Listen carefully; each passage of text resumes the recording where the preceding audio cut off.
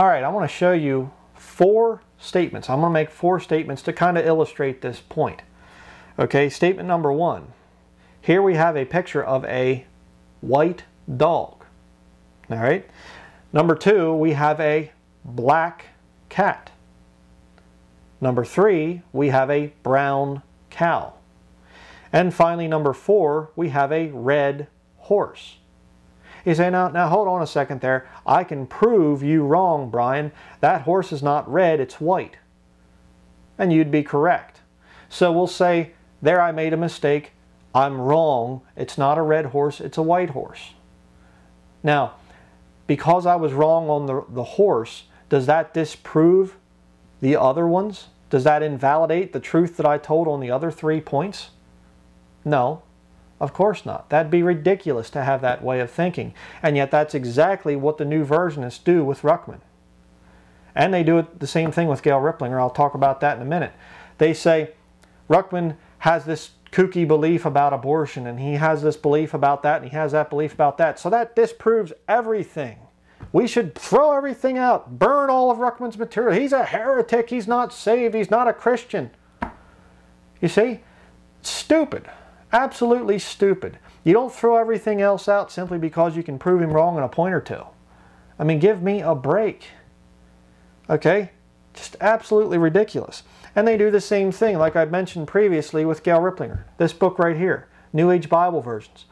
Well, she misspelled a guy's name and uh, she misquoted some guy here, or, you know, she did this or she did that. So we really can't listen to the book. Uh, well, the book is almost 700 pages in length. And if she's wrong in one or two points, that doesn't invalidate the rest of the material. Okay? There is a New Age conspiracy. There is a satanic conspiracy to get rid of this book right here. And if you can prove one or two points wrong in this book, that doesn't invalidate the rest of the points. But you see, when you're a new versionist, it does. You, you grasp at anything that you can. You say, well, Ruckman believes this and Ruckman's past life and Ruckman... Uh, well, let me tell you something. It's not about Ruckman.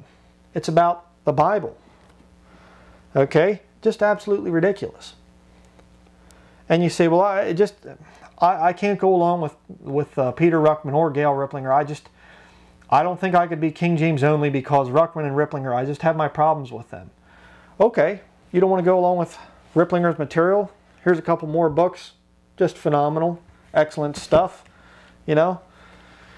Well then why don't you go with David W. Daniels. Here's four books. Are you going to start digging up information on him, on his personal life, to try and disprove the King James only movement? How about Sam Gipp? So I don't know, I don't know, you know, I can't stand this this vulgar, crude, rude way of doing things. Okay, how about Dr. Jack Moorman? Here's two books of his. Here's uh, two things that he did on the church fathers and the early manuscripts. Very, very scholarly work. How about uh, Dr. Douglas D. Stauffer? Again, another scholarly work. Very nice the way he talks and everything. He's not abrasive like Ruckman, you know. What about that? And here we have a couple more. I'll just show you quick. Dr. Mickey P. Carter. Name of the book is Things That Are Different Are Not the Same. now that's a basic statement, but I'll tell you there's a lot in it. All right? The new versions are different than the King James Bible. Oh, it says the same thing. Are you mad? Are you crazy? It does not say the same thing. I mean, it just just incredible. You know how how sick mentally the new modern Christian is. Here you have Dr. William P. Grady. He's not mean-spirited. Edward F. Hills, David Otis Fuller, Les Garrett. The information's there. You don't have to study Ruckman. You don't have to read and watch and see all this stuff. You don't have to do that. You don't have to go with Gail Riplinger. There's plenty of other people out there to prove that the new versions are corrupt. And you say, well, yes, but you know, it was started by Ruckman. This whole Ruckmanite movement was started by Ruckman. Uh, that's nonsense. Here's a book by Dean John William Burgon, this thing came out was in print years and years and years. I don't know the exact, I haven't added up the years, but many, many years before Ruckman was even born or, or conceived. you know? And I'm going to be doing a video in the future, by the way, uh, pre-Ruckman Ruckmanites, to show you that there were King James Bible believers before Ruckman and King James onlyism, you know, as they say, they, they try to tie it to Ruckman. It wasn't Ruckman's movement, okay? But, you know, they'll say, people say, okay, so you're saying that Ruckman is wrong on a point or two, but that doesn't disprove everything else. Well, then they'll point the finger at me and they'll say, well, you do the same thing with Westcott and Hort. They were wrong on a couple spots. Okay. Well, let's look at that for a second.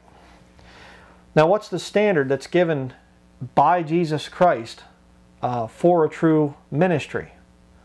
Well, Matthew chapter 7, verse 20 says, Wherefore by their fruits ye shall know them. Now, what are the fruits of Gail Riplinger and Peter Ruckman? Here are the two controversial books. Oh, you know, the Alexandrians probably are running for cover right now, you know, weeping and wailing and gnashing their teeth.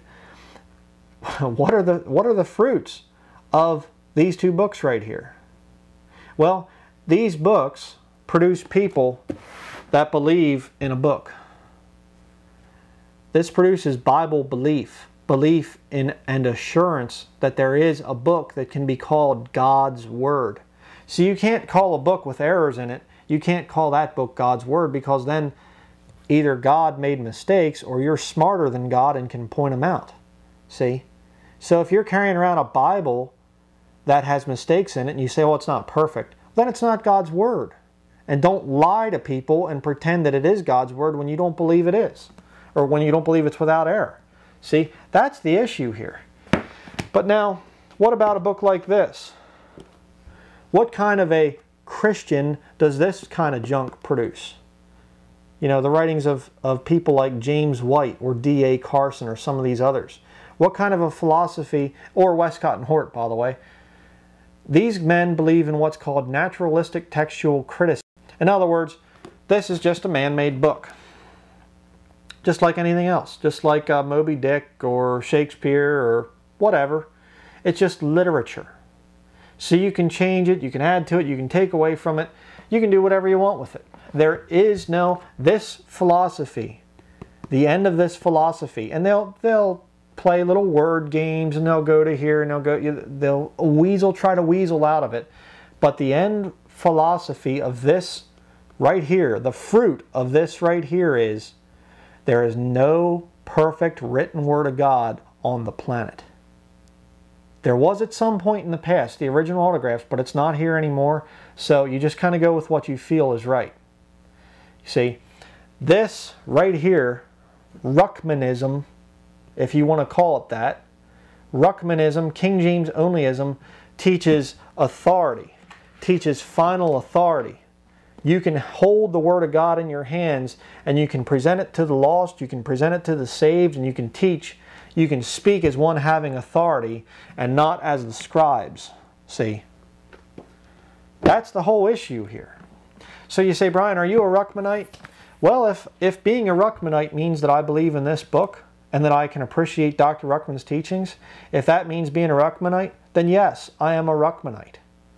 But if being a Ruckmanite means that I'm part of his cult and I view him as God and I don't question his authority and things, well then no, I'm not a Ruckmanite. Okay? And it's interesting too because all the brethren that are on here, you know, my friends and things here on YouTube, if you've studied any of Ruckman's materials, it's weird how we all kind of come out with our own independent thought. Even people that are going to PBI, they come out thinking independently. And yet, anybody who's really spent much time studying under Ruckman, they come out, believe in the King James Bible, preaching on the street, going door to door, missions, handing out gospel tracts, witnessing. That's the fruits of Ruckmanism. Okay? What are the fruits of the New Version crowd, the hyper Calvinist, like James White? All you get there are people who deny the Bible, deny the scriptures. And of course, if you're a hyper Calvinist, well, there's really no point in evangelizing the lost because, you know, unconditional election. God's going to save those who are elect. And if they're not elect, well, there's nothing you can do for them anyhow, so just let them go to hell. That's what they were created for. Now, you know, oh, that's oversimplification. No, it's telling the truth. That's what Calvinism is. Okay, that's the system of Calvinism. So, I'm going to do a video. My next one coming up will be on pre-Ruckman Ruckmanites to show you that the King James Bible believing crowd has always been ridiculed. Okay, we've always been mocked, and we always will be. I mean, that just comes with the territory. So, that's it for now. Thank you for watching.